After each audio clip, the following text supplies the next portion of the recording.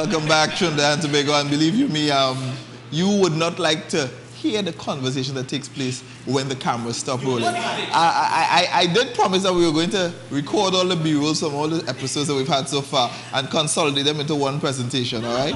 So, because we, we, we, we, we had some confessions, remember? and we had some conversations, right? We had some real heart to heart and stuff, and then we also had some people getting crazy. And there are a couple of you who enjoy getting up as soon as the camera starts rolling to you know, adjust yourself. It's, it's very interesting to look at. We, we, we make a B-roll, we let it go along. anyway, we're back, and of course, we, we still have Mr. Shane Mohammed in the chair. Remember, as I said before, it's a marathon session. We've got another episode coming up right after this one is ended, and we're going to, of course, take you all the way till 11 o'clock tonight as we wrap up the last installment of the chair here on STV Real TV. Let's get back to the panel and Mr. Mohammed. Good evening, Mr. Mohammed. Ayana Philip, International Movement for Change. Hi, Ayana. Um, can you please tell us, during your time, or you still are the International Relations Officer, what are some of the agreements you would have negotiated on an international level? Okay, so I'm international relations at a political level. So therefore, it's not a matter of um, negotiating treaties and arrangements. It's really a matter of building relations with um, building relations with other countries um, I have been able to build a relationship through um, China has this arrangement where um, the government of China, in its attempt to show that there's more to China than just communist China, um, opened up China in, on an invitation for Caribbean countries that have governments of Caribbean, of leading parties of leading Caribbean countries. So when I went to China, it was my uh, Trinidad and Tobago, Jamaica, and Antigua and Barbuda. And we were able to, one, um, make connection with the CPC in China and see what they're about. And it, you know, when you hear about communist China, you think into one particular direction. What I admire, for, um, admire them for is their political structure that they've been able to maintain. Um, and they, they, they, teach you the institutional knowledge of their, of their, of their, of their party and their history. Um, I've been able to maintain relations with the JLP in Jamaica. Um, I have friends in Jamaica who I have been able to maintain relations with. Um, we have, uh, we have I've been able to meet with uh, the ambassador from Ecuador, and Ecuador has been able to come to Trinidad and Tobago and meet with us and indicate they have an interest. Now, Ecuador is just like, it's just like uh, China, where the ruling party, it's one. It's one party, and they, they, they come on a both a government and a political level. So they want to, one, maintain relations with us as a government, and two, they want to maintain relations with the party. And prior to that, uh, when I first became International Relations Officer, um, I met with the ambassador from Mexico um, to learn about their political history and their political structure.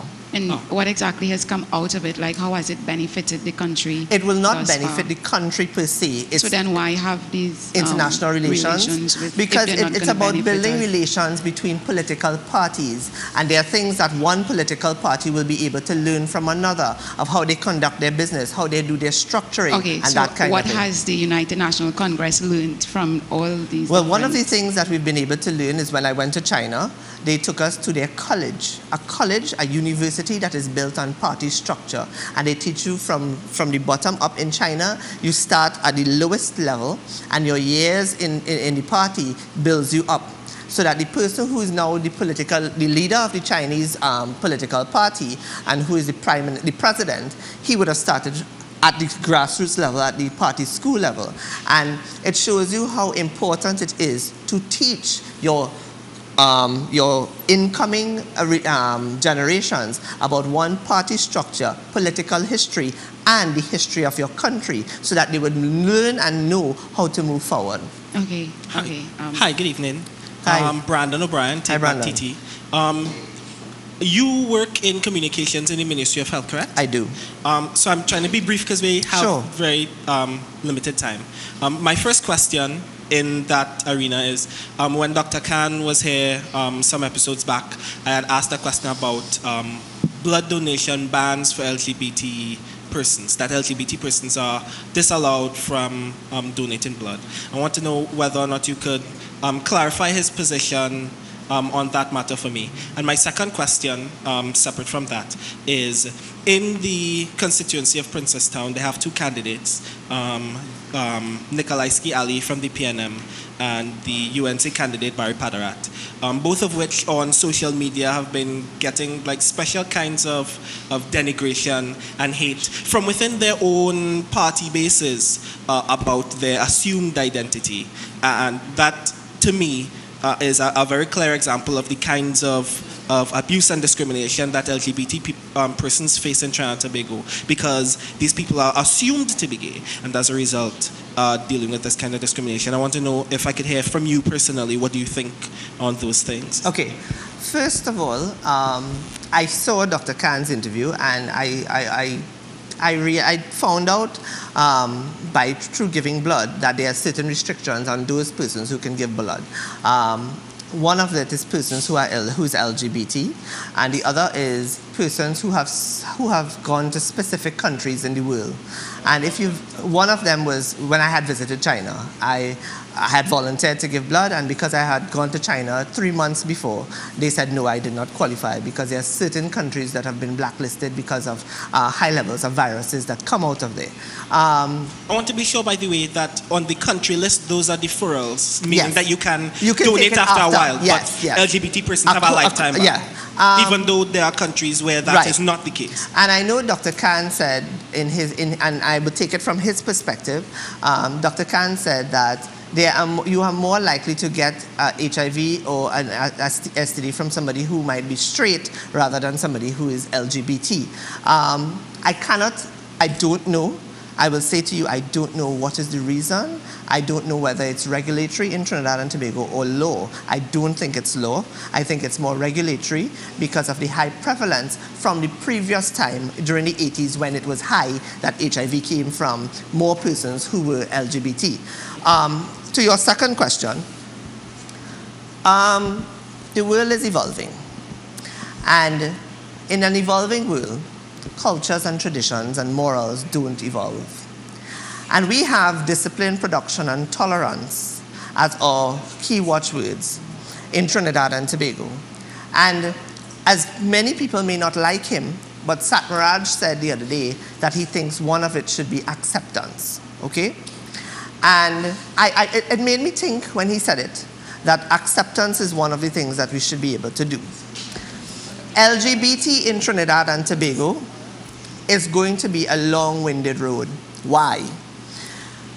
I want LG, and this is my advice to LGBT people, that first, you can't just simply say, we want rights.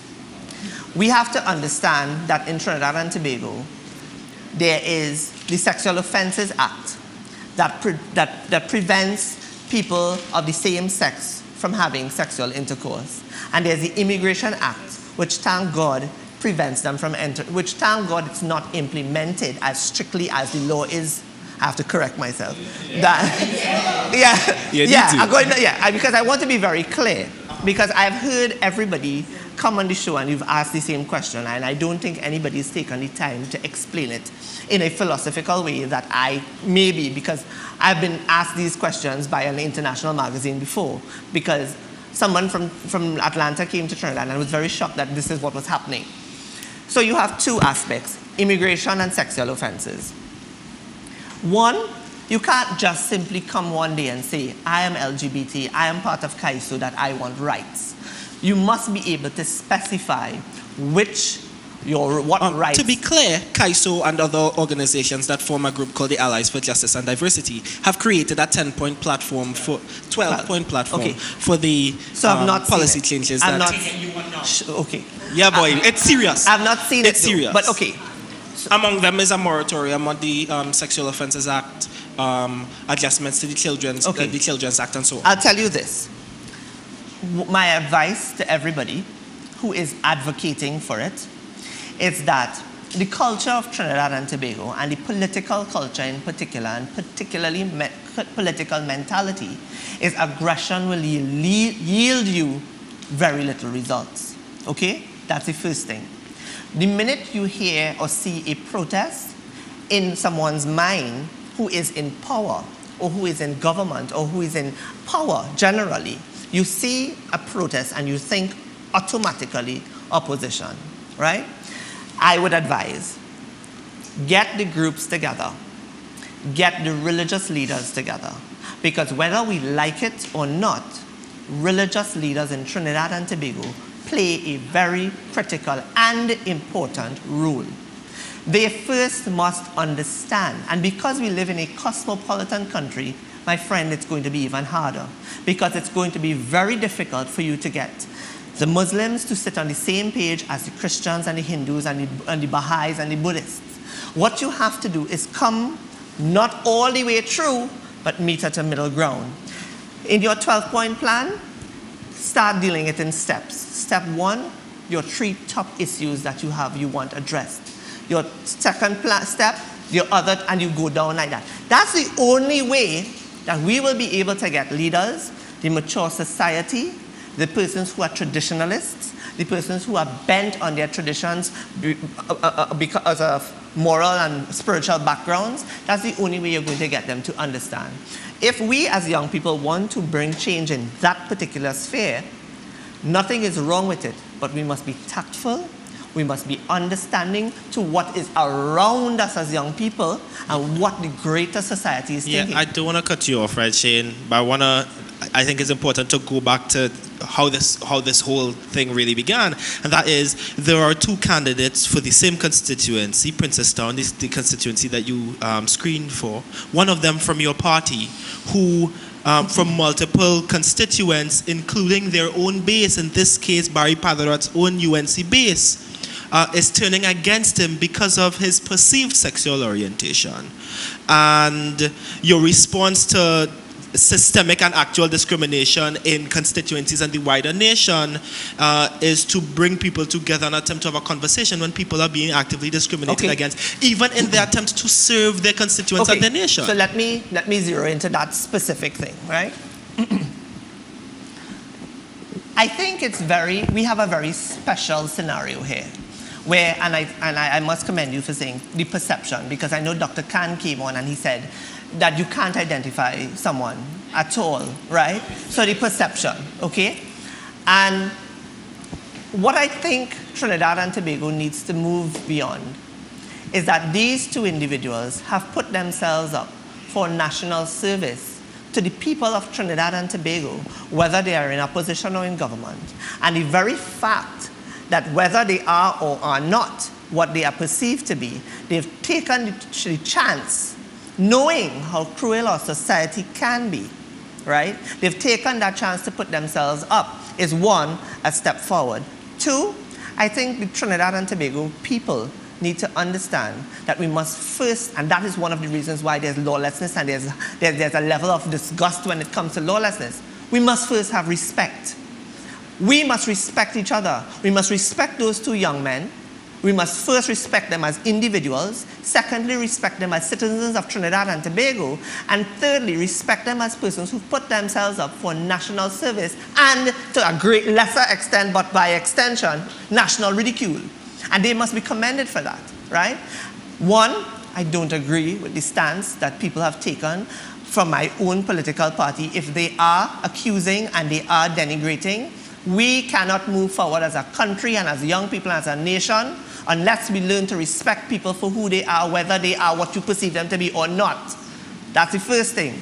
We must give, understand that these people have courage. It's not easy to sit in the chair. It is not easy to be in national service. It is not easy to be in public face. I said to a friend of mine the other day, I would appreciate if people stop staring at me and just say hello. Because they look at you, they, oh, I know that face, right? But it's not an easy job. Public service is not an easy job. Being Keith Rowley and Jack Warner and Kamla Persad-Bissessar is not an easy job. More so to be the Prime Minister of the country, more so to be a woman, more so to be in a situation where your, your leader might be. What about if your leader was a gay man or woman?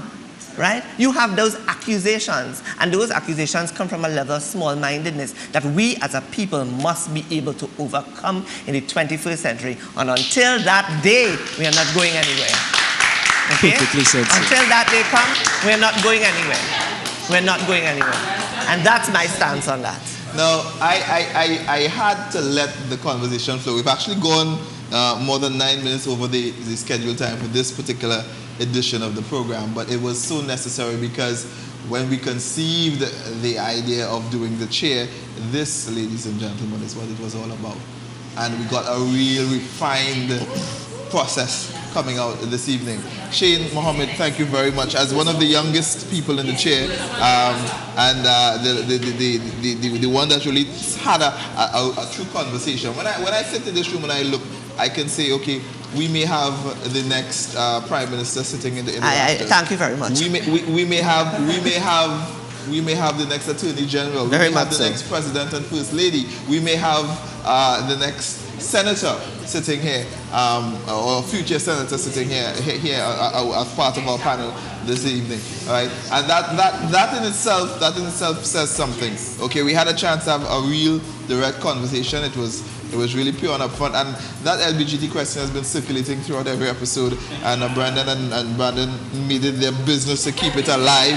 And and I, am impressed about the fact that they start to me started the conversation here at, at STV, and then I saw it transmute onto social media and become a topic of discussion, move to conventional media where we had uh, journalists asking the questions of uh, the opposition leader, the prime minister, and everyone else. So it, it, it, it, meant that in some small way we were able to influence the conversation, and that also is something that I think you all should commend yourselves for because you're able to do that, right? Notwithstanding that, we do remember that after our very first guest who was part of a, partic a particular party, after the conversation and the, and the execution of the chair the very next day, there seemed to have been a dismantling of that whole position and walking away from the party. You know what I'm talking about, right?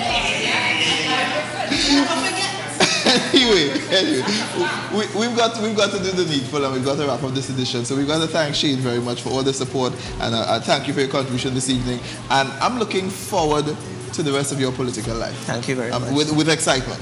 All right. Um, uh, to the panel, we, we, we, still have some more to come. We've got our second edition to go. So we got to thank Mr. Mohammed. I did, of course, present some, provide some refreshments for you guys while we take a quick break and we come back uh, with the second round of um, of our presentation this evening. So again, the chair continues as we go into the marathon. We're going all the way until 11 o'clock. We thank our guest Shane Mohammed, and we coming back in a while with more. All right, this is not a commercial break. This is the wrap up of this edition. We start another a new show when we come back. All right.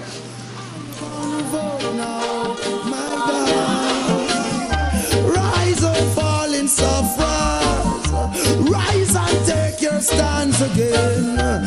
He who fights and run away will live to fight another day. It's politics time again.